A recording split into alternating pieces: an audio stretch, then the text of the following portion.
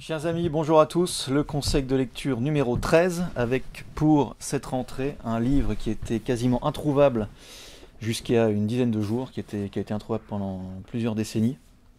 C'est le livre de Maurice Rachfus qui s'intitule Des Juifs dans la collaboration, l'UGIF de 1941 à 1944, avec une préface de Pierre Vidal-Naquet. Pourquoi je vous présente ce livre? Parce que, à mon avis, c'est un livre important pour comprendre un, fait historique assez méconnu, c'est-à-dire la collaboration de certains juifs pendant la Seconde Guerre mondiale, donc qui ont collaboré avec le régime de Vichy et avec l'Allemagne. Euh, donc c'était un groupe qui s'appelait l'UGIF. L'UGIF, ça veut dire l'Union générale des Israélites de France. Et ce livre explique, qui prouve avec documents à l'appui que ce groupe, donc qui s'appelle l'UGIF, euh, qui était composé de, juifs bourgeois, de juifs assez installés, de notables en réalité, a donné euh, des compatriotes à eux, des, juifs, au gouvernement de Vichy, qui étaient souvent des juifs étrangers d'ailleurs, euh, et direction les camps. Donc c'est un livre qui est sulfureux, c'est sans doute pour ça qu'il était assez difficilement trouvable.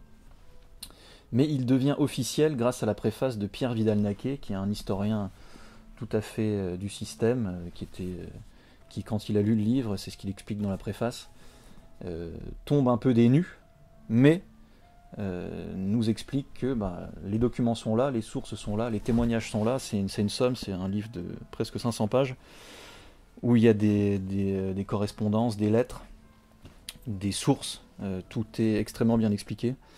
Et il nous dit, bah, Pierre Vidal-Naquet nous dit que tout ce qui est dans ce livre est sourcé.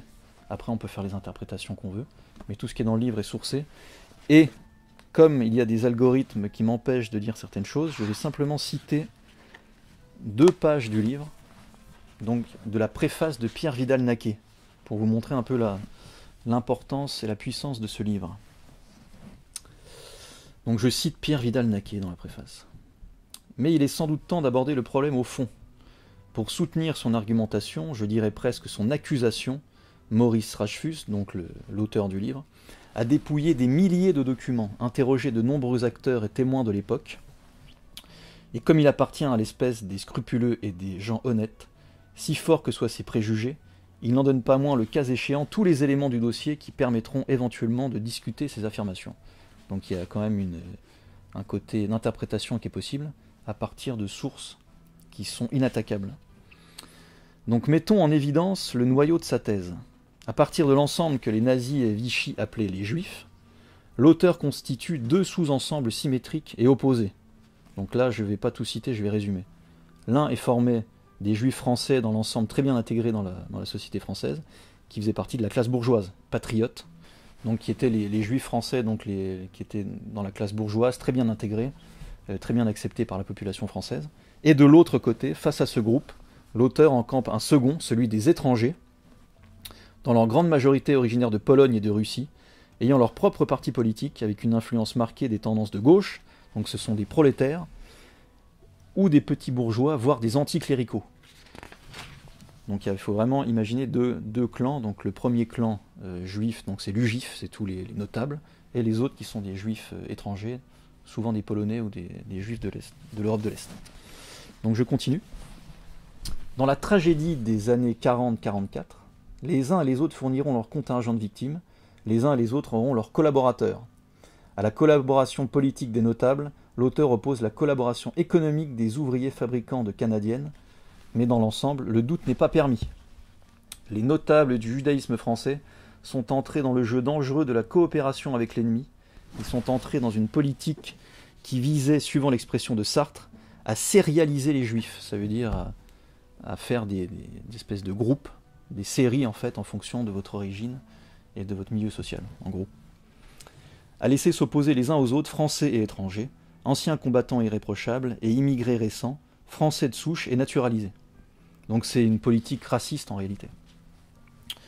Les notables ont, fourni l'armature de l'UGIF, et l'UGIF, quelles qu'aient été les intentions et le destin de ses fondateurs, et là c'est le plus important, a contribué, ne serait-ce qu'en tenant des dossiers en ordre et en groupant les enfants au lieu de les disperser, et parfois après une première dispersion, à alimenter la machine à tuer les juifs.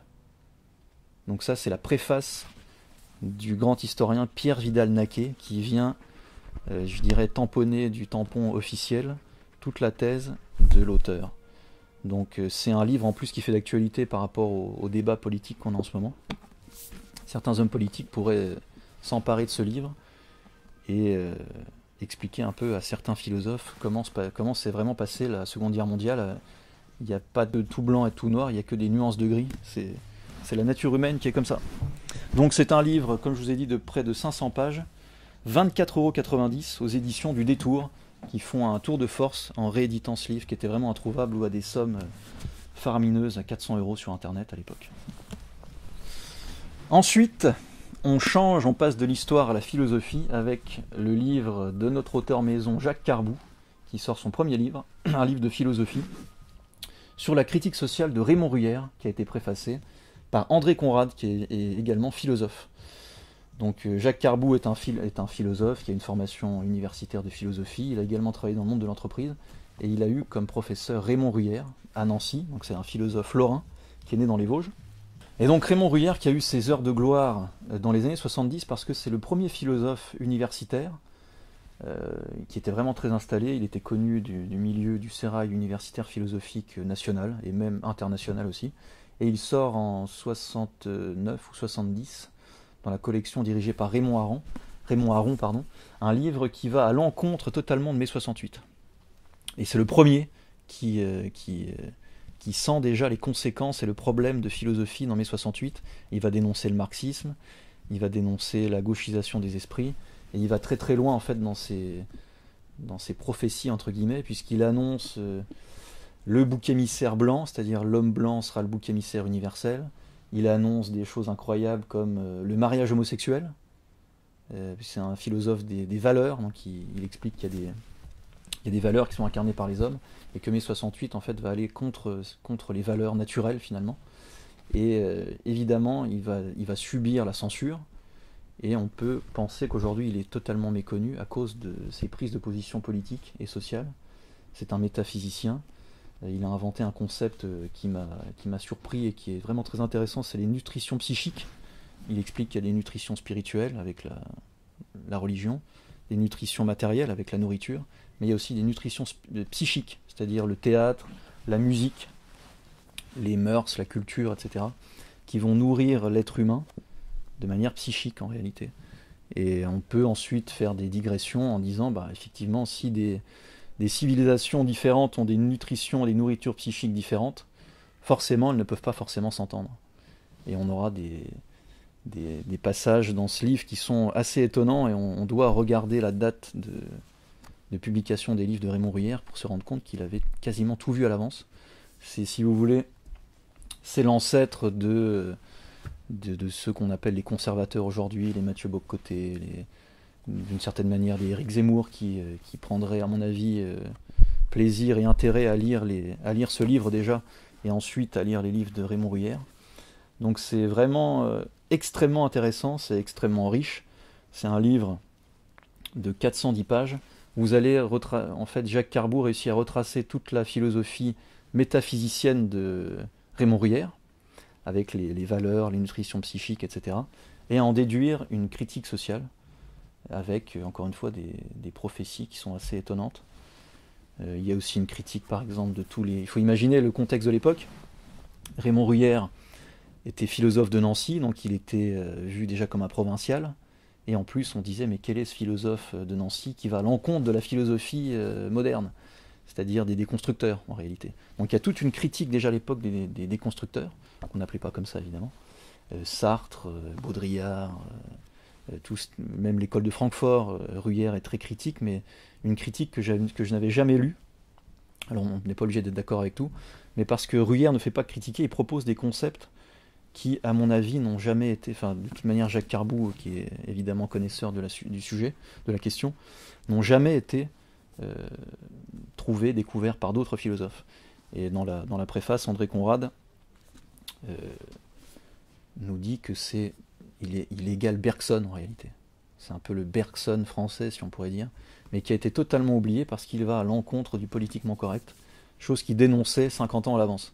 Aujourd'hui, il serait sur un plateau de CNews euh, en, philosophe face à tous les philosophes modernes, qui sont eux les descendants des déconstructeurs. On pourrait parler de ce livre pendant des heures. Je vous conseille l'entretien qu'on a eu avec Jacques Carbou. Et il sera, euh, pour information pour les Parisiens qui nous regardent, en dédicace à la nouvelle librairie le 6 novembre. Et il donnera une conférence sur Internet le mois prochain. Donc je vous conseille vraiment de vous intéresser à ce livre. C'est nous qui l'éditons, édition du Verbe Haut, 28 euros, 410 pages de philosophie inédite euh, Jacques Carbou euh, définit Ruyère comme un génie méconnu et on va essayer de le faire connaître au plus grand nombre. Ensuite, je voulais vous parler d'une des dernières publications de la nouvelle librairie, la maison d'édition de la nouvelle librairie, donc tenue par euh, François Bousquet, toute la bande à François Bousquet. Ils ont réédité, ils ont la très bonne idée de rééditer, enfin pas de rééditer, d'éditer pour la première fois les carnets privés et personnels de Dominique Vénère. Donc Dominique Vénère, vous connaissez, le grand penseur de la civilisation européenne et de la particularité de la civilisation européenne, qui a tenu des, carnets, des vrais carnets, pendant une quarantaine d'années. Et la nouvelle librairie a eu l'autorisation de les, de les lire, de les compiler, et d'en proposer pour l'instant le premier volume, qui s'appelle Carnet rebelle. Vous êtes finalement dans la tête de Dominique Vénère, sur une période d'une dizaine d'années, de 1982 à 1990. Et ils ont vraiment alors tout n'est pas édité, ils ont fait des choix, des choix éditoriaux à des choses qui ne peuvent pas être encore dites, j'imagine. mais il y a quand même des informations assez croustillantes. Et à la fin du livre, vous avez par exemple ce type de reproduction qui vous montre à quoi ressemblait véritablement le carnet de, Dominique Vénère. Donc euh, je conseille la lecture de ce livre, je sais que Dominique Vénère a beaucoup de public, et à mon avis, euh, le côté personnel du samouraï d'Occident peut vous intéresser. Donc collection L'éternel retour à la nouvelle librairie, 25 euros pour un peu plus de 400 pages. Ensuite, dans les nouveautés chez nos amis de l'artilleur, ils ont eu la très bonne idée de rééditer, parce que ça l'avait déjà été, en, il me semble, il y a une dizaine d'années, des textes qui datent des années 30. Ce sont des petits textes de Jacques Bainville, et ils en ont fait une compilation, Les moments décisifs de l'histoire de France, avec une préface de Christophe Dickès. C'est un livre, un petit livre de 150 pages, qui est très agréable à lire. Pourquoi? Parce que vous avez des petits articles de 2, 3 ou 4 pages sur des moments clés de l'histoire de France. 1830, euh, euh, Jeanne d'Arc, euh, Richelieu, c'est un, dossier un peu plus gros. Napoléon, il y a quand même une cinquantaine de pages. Et par exemple, c'est une très bonne introduction pour ceux qui s'intéressent à la vie de Napoléon, puisqu'en 50 pages, vous avez un ton très personnel. On sent une certaine forme finalement d'admiration de, la part de Bainville pour Napoléon, d'après moi qu'on ne sentait pas forcément dans sa biographie de Napoléon, et qui transpire plus dans ce texte-là. Euh, vous avez également un texte qui est très très très intéressant, c'est le dernier texte qui s'intitule Comment est-ce qu'on écrit l'histoire? Et nous, en tant que Français, ça nous intéresse parce que la France, c'est d'abord un récit historique, il y a plusieurs manières de le, prendre. Et dans ce, dans ce dernier chapitre, Bainville va dresser deux manières décrire l'histoire. La manière allemande, qui est les faits plus les faits égale d'autres faits, c'est-à-dire qu'on enchaîne les faits. C'est une lecture moins agréable que les historiens français, puisque l'histoire telle qu'elle est racontée par les, par les Français, c'est évidemment il y a des faits, mais il y a avant tout une volonté de les rendre lisibles et quasiment de les universaliser en réalité. Euh, on pense par exemple à Michelet qui se fait énormément attaquer dans la, dernière partie du livre, qui va avec son lyrisme nous inventer des choses qui ne sont pas totalement fausses mais qui sont quand même pas totalement vraies. Et à partir de faits, il va en créer comme une, espèce de gerbe lumineuse comme ça pour nous emporter dans un récit littéraire. Donc nous, les Français, on fait de l'histoire comme de la littérature. Les Allemands font de l'histoire, je dirais à l'allemande, euh, hyper carré, des faits plus des faits. Donc ça c'est assez passionnant à lire. Et il nous explique Bainville comment, le, comment des, événements comme la Révolution française par exemple a totalement changé la manière dont on écrit l'histoire. Évidemment dans le monde entier, mais surtout chez nous. Donc je vous invite vraiment à découvrir ce livre. Ce sont des textes rares des années 30 de Jacques Bainville, Les moments décisifs de l'histoire. 150 pages pour 18 euros chez l'artilleur. Ensuite, je voulais vous parler d'un livre que j'ai lu il y a déjà très longtemps, je pense plus de 20 ans, mais comme on a beaucoup de jeunes qui nous suivent, je tenais à le mettre en avant parce que c'est un livre qui personnellement, moi, m'a, disons, réveillé sur la question des frontières, qu'on soit de droite ou de gauche, pour ou contre les frontières, avec Régis Debray, qu'on ne peut pas targuer d'extrême droite, qui est plutôt un penseur de gauche, un philosophe de gauche, qui a écrit donc l'éloge des frontières et qui nous explique qu'on aura beau abolir toutes les frontières, d'autres frontières se recréeront forcément. Et il parle de la frontière de la peau, la frontière épidermique. Et il explique une chose, à mon avis primordiale, c'est que sans frontières, c'est-à-dire sans porte, admettons, parlons comme si la nation était une maison, sans porte à ouvrir, vous ne pouvez accueillir personne. Si la porte est déjà ouverte, vous n'avez pas possibilité d'accueillir les gens. Donc c'est primordial d'avoir des frontières, en réalité. Donc moi je conseille vraiment ce livre, surtout pour les jeunes, de Régis Debray. Pourquoi pour les jeunes? Parce que ça se lit très bien, c'est, c'est très bien structuré, c'est un petit livre de moins de 100 pages, en format extrêmement poche, et il est seulement à, de mémoire, une dizaine d'euros. Donc Régis Debray, L'éloge des frontières. Même si vous regardez la vidéo et que vous êtes de gauche et que vous êtes pour l'ouverture totale des frontières, admettons, je vous conseille aussi de le lire, parce que vous vous rendrez compte qu'on ne peut pas abolir les frontières en réalité. Les frontières se reforment toujours. Regardez dans l'histoire, on abolit les frontières nationales, d'autres frontières se créent à l'intérieur des nations et aussi à l'extérieur au niveau continental. Donc un livre à mon avis important à lire. Ensuite, évidemment, on ne pouvait pas passer à côté du livre d'Éric Zemmour, La France n'a pas dit son dernier mot. Alors c'est un livre euh, extrêmement personnel. Je pense qu'il aurait pu s'appeler Éric Zemmour n'a pas dit son dernier mot, parce qu'en fait, il en est plus question d'Éric Zemmour que de la France. Mais ça n'empêche pas un certain intérêt à lire le livre. Moi, j'ai euh, passé une lecture agréable, ça se lit très bien. C'est des petits chapitres de, de 4 à 5 pages qui sont euh, dispatchés par année. Vous commencez il y a 7 ou 8 ans, je crois, jusqu'à l'année dernière. Et en fait, vous êtes dans la tête d'Éric Zemmour, finalement, et ce qui, ce qu'on sent, c'est que bon, il a, évidemment, il a voulu rendre hommage, à mon avis, à Chose Vue de Victor Hugo, ça c'est une évidence. Mais Victor Hugo, dans Chose Vue, il rencontre des grands personnages. Donc ça rend le côté personnel intéressant, parce que ça le rend quasiment universel. Là, on est en 2021, donc Éric Zemmour rencontre des personnages qui ne sont pas du tout au niveau. Et en réalité, on se rend compte que devant lui, il y a le vide à chaque fois.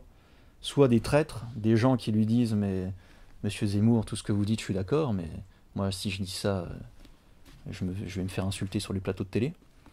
Ou alors euh, des, attaques, attaques à dominem euh, complètement stériles, qui ne mènent à rien. Mais la plupart du temps, on se rend compte qu'on est quand même dirigé par une classe journalistique et politique de lâches.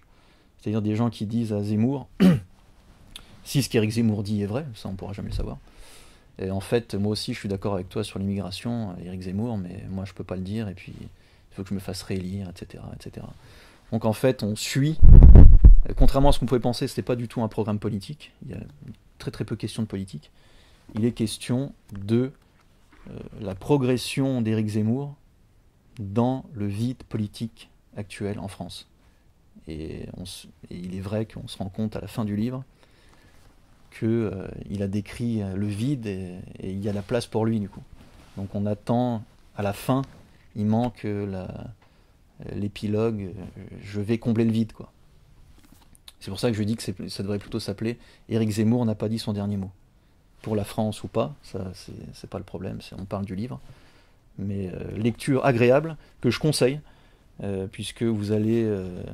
il y a des choses un peu énervantes, parce que vous vous rendez compte vraiment que vous êtes dirigé par des moins que rien, vous le saviez déjà, mais le fait de, voir les dialogues, que ce soit dans des restaurants ou dans des petites réunions privées, vous vous rendez compte que c'est au-delà d'être des incultes, ce sont des lâches.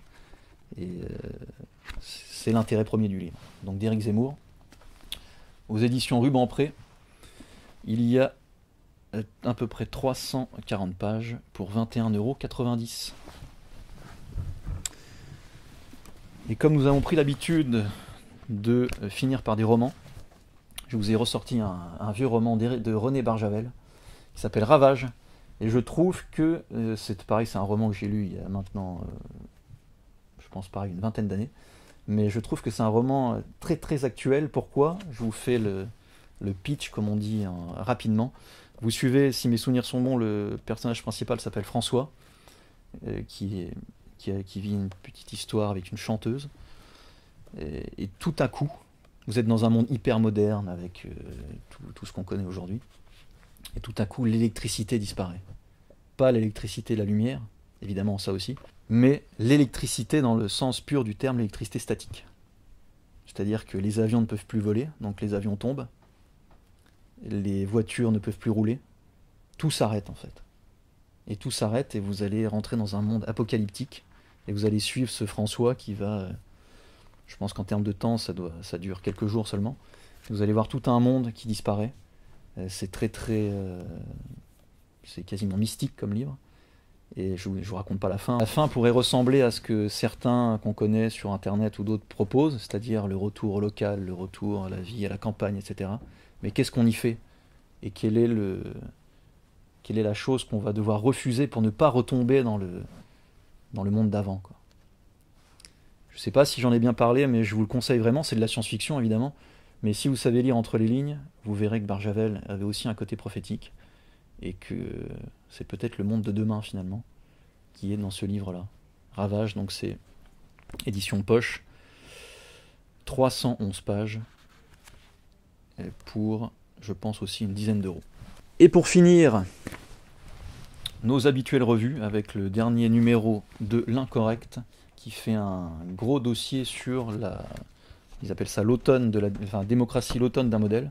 Et vous avez une bonne trentaine de pages sur euh, finalement le piège qu'est la démocratie, le piège du vote, le piège de, la médiatisation de la démocratie, le piège moderne en réalité, qui est développé sur une trentaine de pages. Vous avez également un entretien intéressant avec Guillaume Cuchet, dont j'ignorais l'existence, qui a écrit Le catholicisme a-t-il de l'avenir en France, qui a l'air d'être vraiment un très très bon livre.